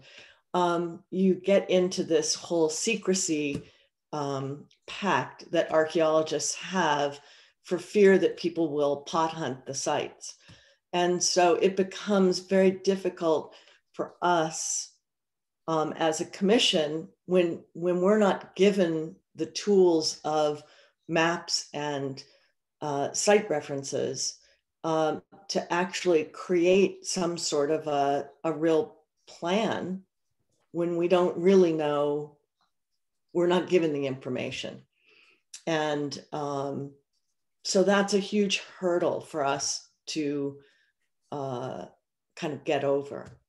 Um, and I, I don't know if, you know, if you have specific questions or Hillary, I know you have um, a lot of other thoughts on this. I think it's great these first few letters, and um, I hope to have some time coming up to actually do a little more research into the actual uh, federal and state regulations right now and how we might use those to our advantage. Um, and I, I think that's the basic start and, and to see if we can find any other communities um, that to start with communities that are similar to ours that that might include the historic and prehistoric archaeology in their plan. Um, and then if we can't find that to work our way out to people, mm-hmm. you know, further out west who are primarily um, cataloging and interested in their in their prehistoric sites. Yeah. Thank you, Susan. Tom, you have a hand up? I have a, I have a question for Susan. When, when mm-hmm. you said earlier that you uh, interior or in, in, interior work, what what were you? What does that mean? Say that again. I'm sorry, I didn't.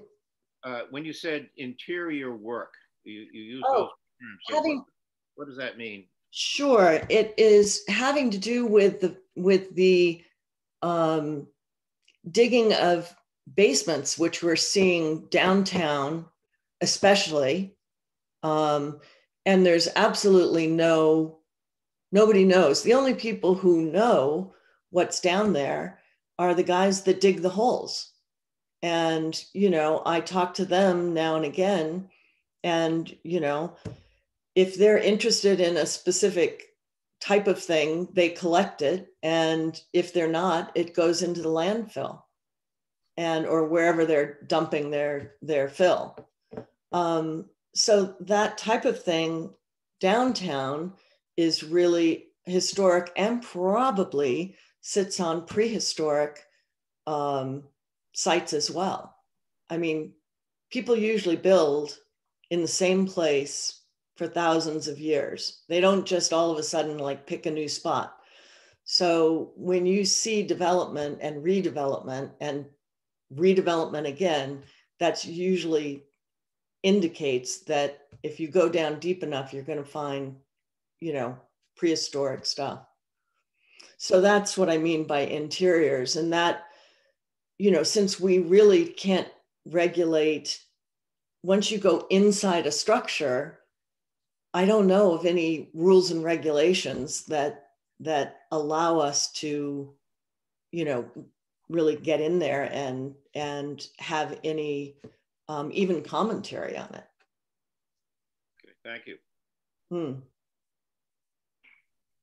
So when Susan and I talked about this, um, we landed on the approach that really having an archaeological plan would be the way to go because um, it would allow us to get professionals who really know what they're doing to um, assess our situation on Nantucket and advise the community through us of you know ways to enrich our knowledge and be respectful of our history be respectful of indigenous people um, and come up with the right kind of advice um, about this really delicate subject. Um, and what I would like to propose this is a long term project. I mean, this is not like a, fisc, a current fiscal year or 2022 project, but we can at least get our arms around a path forward on it. Um, and so we want to hear back from the state about archaeological plans. Susan mentioned other communities. I mean, the vineyard actually still has like indigenous people living right. communities, so they might be more more um, you know aware of this or have more more guidance um, or engagement on this topic than Nantucket does. Uh, we know St. Augustine um, because we looked through their preservation plan like two years ago when we were thinking about a preservation plan that had a lot of emphasis on archaeology because of their history as a 16th century um, community. So anyway, I think what I'd like to do on this one is to see a, if we could maybe develop a source of funding and um, a scope of work for an archaeological plan. Um, and I don't think we would really do that through the town because we don't have the resources. So it would need to be gifted to us. Somebody, we'd have to find someone who wanted to do it, who would want to give it to us as a gift um, similar to the way we did for the preservation engineering um, uh, report about the streets. I'm Thoughts or comments? I'm sure Susan uh, must must be aware of it. Uh, Middleborough, Massachusetts, uh, has a, a, bit of a, any any um, reading or information that I've looked for uh, about Indigenous people. Middleborough always is in there somewhere. Huh. I don't know what it is that uh, about Middleborough uh, because I, I don't, all I do is go through there at 60 miles an hour, but uh, they've got they've got something there because they're they're always in the periodicals that I'm, I'm reading about. Okay. And that, Hillary, kind of goes to what you're saying. It usually has to do with the fact that somebody um, at some point in time that had money and interest um, started that whole ball rolling uh, for the town. And it comes into what you're saying, Hillary, where we see the need to create a um, narrative around the the importance and the the just general interest of this topic uh, to just the general population as well as to uh, you know all the stakeholders involved being you know real estate and and everybody else. And uh, it's it's a tough tough sell but i think it's really really important. And i think we can do it. I really think that you know it's a direction we need to go in. What do other people think? I couldn't agree more. Just digging in my garden, sometimes I'll find arrowheads. I mean, they, you know, I mean, how easy is that? Mhm. Mhm. any other other comment yeah angus Angus? Uh, I think I think it's a a a, a really um, valuable um, piece that that we could pursue. Um, I can think of a gazillion reasons why not to, um, and that's probably why it doesn't exist.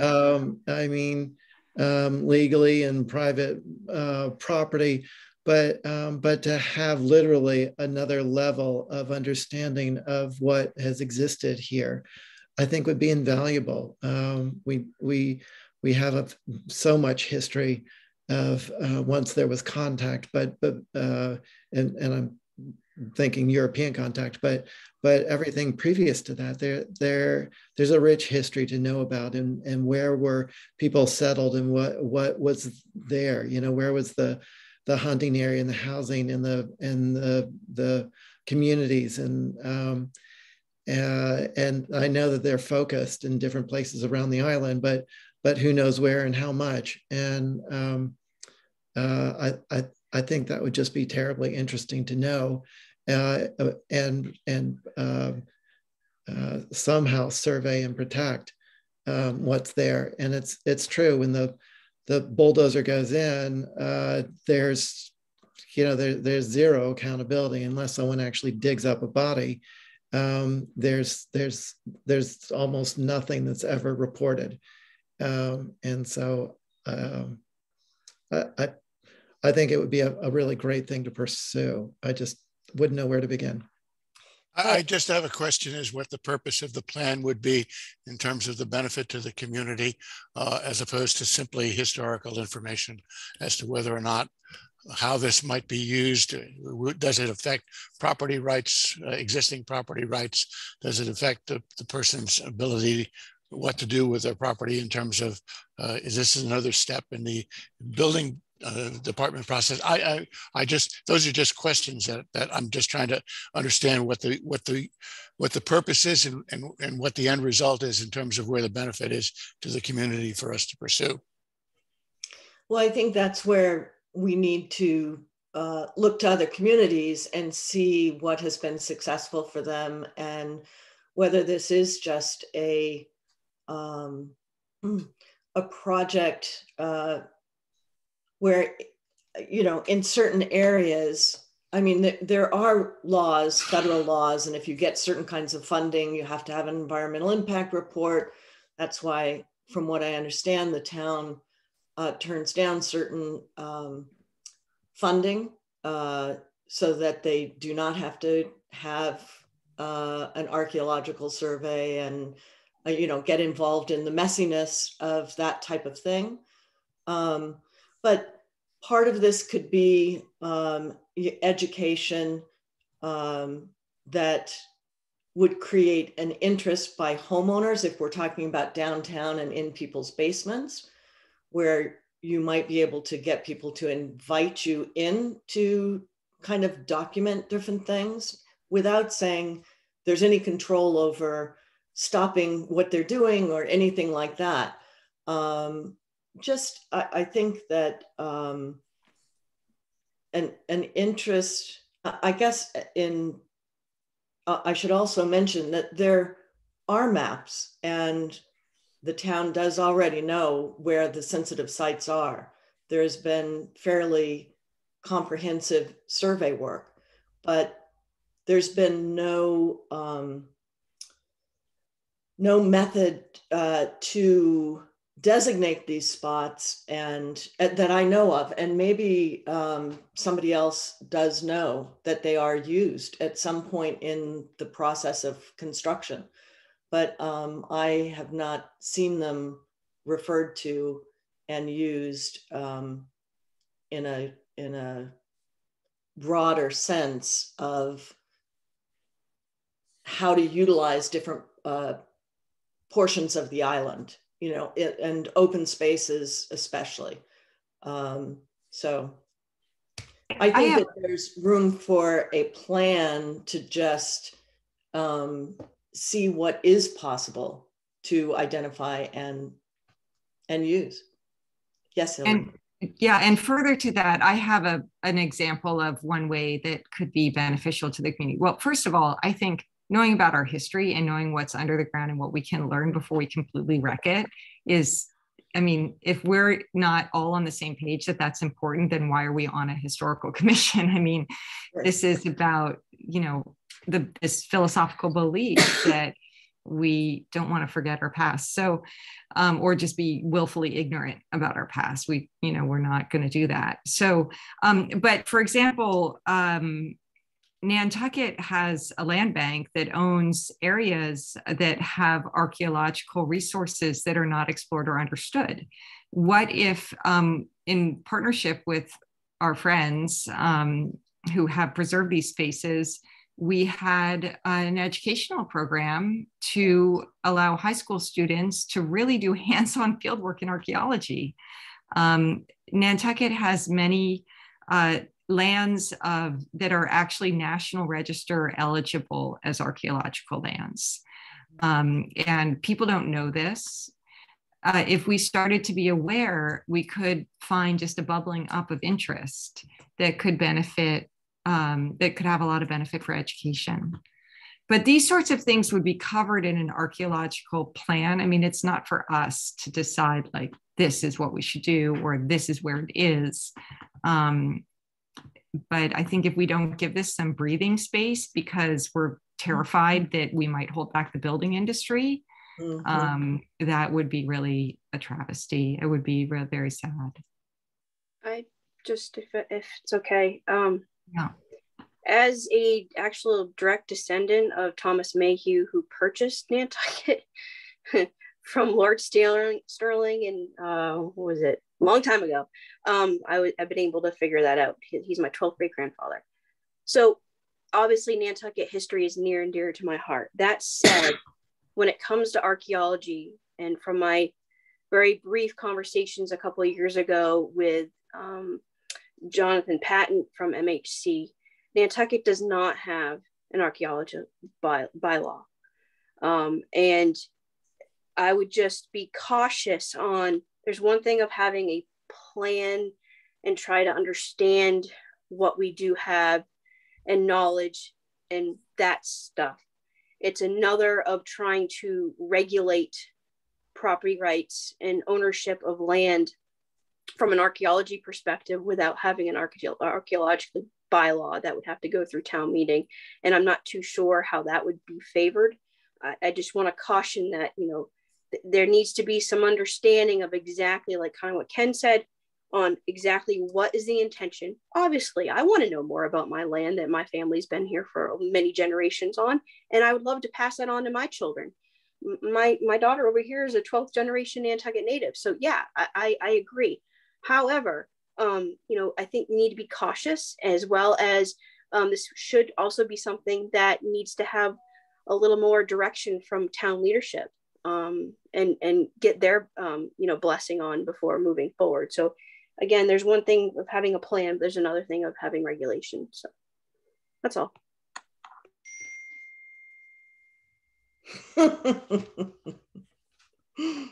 Sorry, I no one has mentioned regulations. Okay, so we are not bringing this for. I just want to be clear because people watch this recording. We are not bringing forward the idea of an archaeological land because we want to limit private property rights or change building rights. Okay, that is not the intention here. The intention is to understand our history, understand archaeological resources, create opportunities for education, and um, interpret scholarship for our community. Um, and that is a benefit. And I hope that everybody is on board with that. And if not, I would like to hear about it now from everyone. I just want to say that I completely agree with what you just said, and that that's why the the um, mention that you know this is, if nothing else, just to let people know what what they have on their property you know just for an individual uh, you know educational as you say um, uh, tool for people. It is not um, in any means to uh, regulate anything or anybody. And no one should be afraid of the archaeology that is around them uh, and Madam Chair, through you to uh, Ms. Handy, I, I think I Mm-hmm. heard you earlier saying that you are not aware of any other community in Massachusetts that has in fact uh, uh, created such a plan. Is that correct? Did I correctly have hear not you? done- I have not done any research on it as of yet, so I, I d- am not aware. Correct. Thank you. Yeah, so we'll find out. So Susan and I would like to work on this. We'd like to find out if there are other communities that have plans um, and just have some idea of what the right thing to do is here. Mhm. Um, and I'd love to know, just going around, since this seems to be a little bit contentious, um, and uh, I, I don't want it to be, um, but if it is contentious, I don't want to move forward without the full support of the commission. And and when I say move forward, I mean find out, you know, scope of work, more specifics, so that we can then decide if we want or even are able to Mm. have any kind of a plan. Well, and from the town's point of view, I just want to reiterate the point that unless there's a clear understanding from the town's point of view of the purpose of this and the benefit to the community, uh, uh, it is of, of concern, my concern that I will be raised with town administration as to the expenditure. Uh, I mean, you you have your time is free and what have you not, but but I'm I just want to make sure that within the scope of what the historic commission is doing, that that is the appropriate um, allocation of time and resources with respect to something that does have a potential benefit to the community. Great. I'm, I'm happy to donate my time to uh, look into that and come up with an answer for you. Yeah, and archaeology is specifically in our um, enabling legislation. Uh, commissioners, can I just hear from people about this? Um, Mickey. I, I, you know, nothing wrong with information. I'd love, I'd love to know more about it, and I think it's only going to benefit anybody that's interested in it. So I'm, I'm certainly in favor of it. Ditto. David? Yeah, I mean, I was going to say just like the small loan fund research, it's very possible that it doesn't pan out, but I think that we wouldn't be doing our duty if we didn't look into it. So I'm all for it. Okay, thank you, David. Angus? Thumbs up from Angus. Okay, Barbara? Barbara is giving a thumbs up. Um, okay, so I think we have, um, you know, I'm really thrilled at the number of people on this commission who've raised their hand to work on these individual projects. That's the only way we're going to cover the ground we want to cover. And, you know, we're volunteers, not everything is going to work out, but I love having big goals and using our energy and creativity to try to push the ball forward on our mission. And um, we didn't get to building with Nantucket in mind. um, but I think it, uh, I don't know, you know, we have five minutes. Does anybody want to say anything as far as laying the groundwork for a future meeting on that topic? Angus. That's a huge concern. I feel like the landscape of Nantucket has drastically changed mm-hmm. um, exponentially uh, over the over the decades. I mean, it's it's been 40 years for me, but I I noticed more change 30 years ago than 40 years ago, and more 20 than 30, and more 10 than and more f- than five than 10 years ago. So I mean, it just keeps getting more and more intense, and I feel like um, I feel like the ball is getting dropped. So I I that's that's a huge concern of mine. I, f- I feel like what what is being proposed gets more and more um, further away from the from the guidelines, and the HDC gets further away from from the guidelines as they review. Mm-hmm. So it's okay. a big subject, but I feel like it's definitely worth considering because it's it it's um, it's definitely part of the concern about um, preservation and history here. Thank you, Angus. Um, any other comments? I mean, especially thoughts about what we could do, or, you know, unfortunately, I thought we were work, working forward with these monthly meetings with the but that's been put to the side um, for now. Do we want to keep this on our agenda? Angus is saying yes. I'm seeing yeah. heads nod. I, I do. I also agree that building with Nantucket in mind is a it's a natural for the CLG, but nothing's really happening. Um, and I think maybe, you know, if we politely ask the HDC if they would like us to be maybe, I don't want to say take the lead, but help push it forward. Um, I mean, you know, they're going to say no, Mickey. I, I'm sorry, but just in the interest, I'm like, they're going to say no. They don't want our help. Um, and I'm not even sure if they want to do preservation. I mean, the, the this three Beaver Street, it's a nearly 300 year old structure that had not been destroyed. And they just said, fine, you know, we got to get these uh, these old buildings up out of the dirt. So uh, it is that the, the modifications that they permitted were not in keeping with building with Nantucket in mind. They just weren't. And you know, what do we do when our architectural review board does not want to enforce or just has a different view of of what should should be permitted? I don't know. I don't know what to do. Well, the funding the funding for the renovate for the redo of building with Nantucket in mind is is already there. It's a CPC funded project, as far as I know. That's and correct. It's been there for six years at least. And I, you know, I think anytime you ask the HDC about anything outside of a, a weekly meeting, they just throw their hands up and say, we don't have time for it. And, you know, I think that maybe we can help them make, you know, with that. And I, yeah. I don't think it'll hurt to ask if they, if they would like help. Um, Hillary, I apologize. I'm gonna, I have to leave. Sorry. Thank you, Ken. We'll follow up. Yeah. Thanks for being here. Holly, you're our town preservation planner. Holly, you're you're our town preservation planner. Okay, these things are near and dear to your heart as well as your job. So, what can we do? Well, you know, okay, I'm on the spot. Um, the HDC, as most of you are aware, are extremely busy. Extremely, six and a half hours a week Every Tuesday is a long day for me. With that said, and our commissioners, because they have jobs like a lot of people do.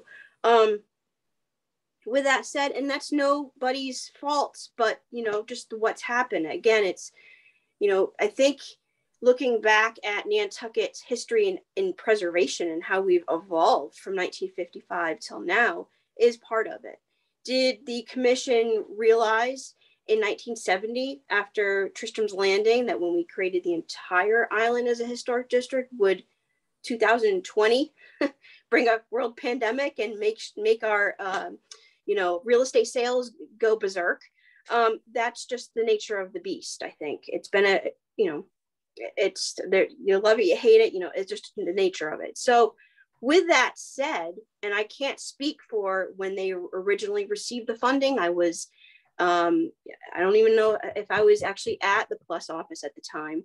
I've only been there with them since 2015. But with that said, um, this is their baby, if you will. This is their their um, their their bailiwick, their their, their design guidelines. And yes, I, I I think I think that there is definitely um, room for um, work with both commissions and and for it to be something through the CLG if they're so inclined.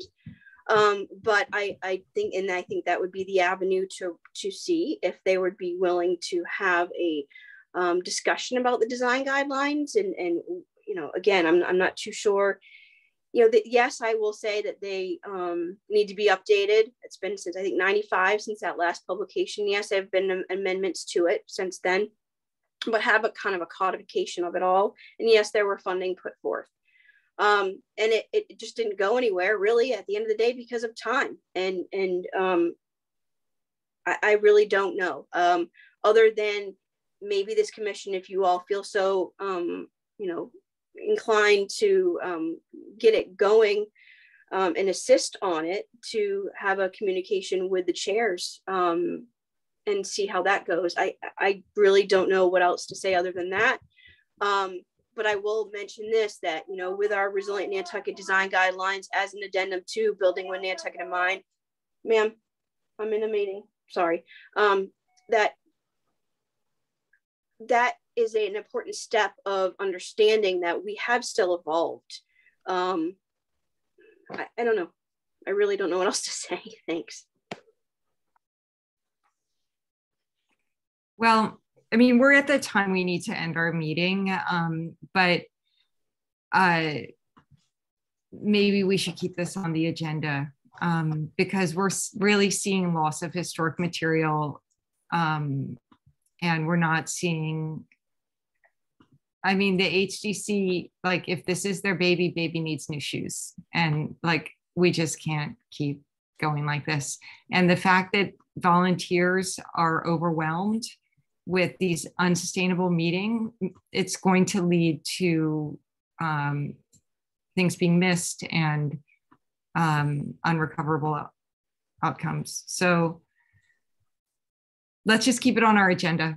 And I, we've got a great slate of work and fabulous people signed up for it. Uh, uh, you know, an ongoing survey effort, um, which Holly is leading uh, with wonderful volunteers. So onward. Um, any other comments? Oh, oh, the last thing, the spa hot tub survey. The town association is going to have that for their meeting on Tuesday, the results of it. Okay, so keep an eye out for that. Um, and uh, I, I don't, anything else, any other comments, anything anybody wants to say before we adjourn? Susan. I just want to say thank you to you for all your work and for for trying to lead us even though we might be you know kind of going in different directions at different times. And and i know how much hard work you put in. So thank you. Oh, thanks susan. David? Certainly want to echo what susan just said but also i'm curious if we have an update on the um, the supports on the in-town telephone poles. Oh, yeah. Is mickey? Have we heard anything on that? Yeah I mean, the only thing I've heard from discussing with Erica is that that it kind of it is what it is. There's they they agreed to do this. It kind of um, they said that they would try to um, be neater with their spray painting and possibly look at different colors. I mean, I don't think there's really much else we could do. We could we could possibly look at specific poles that we find are real eyesores and they might be open to to um, working on those but um, you can only wouldn't hurt to ask. Are they are they pretty insistent on spray painting them after the application of the support? It just seems it's really tacky. There's a couple on my street that are bad that are bad. Yeah i think they they you know erica was open to, to the conversation. You could you could call her and ask her what you know she says about something like that that, that was my suggestion that perhaps they spray paint them with a flat spray paint mm-hmm. and they do it before they apply it to the pole. Yeah, makes total sense. too much sense. Right.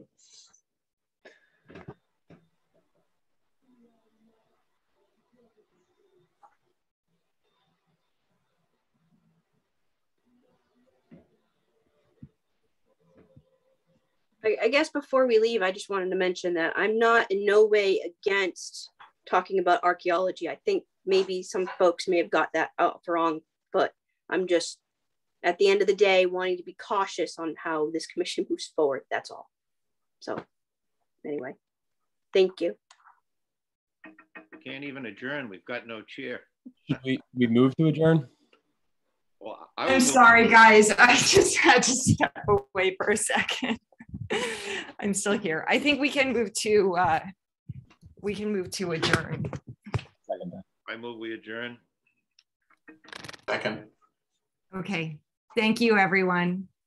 And yeah, we'll follow up by email with the, um, just to, to, because we have a lot of individual work. So we'll send out, you know, minutes about what we decided so everyone can keep track. And, um, oh, we might be able to meet in person. Um, I think, uh, given that I probably have COVID right now, and here I am saying we should meet in person. um, if if we can do that, you know, we'll we'll touch base about if that makes sense for April. Okay, everyone, stay healthy. Enjoy the springtime. Happy St. Patrick's Day. Yeah.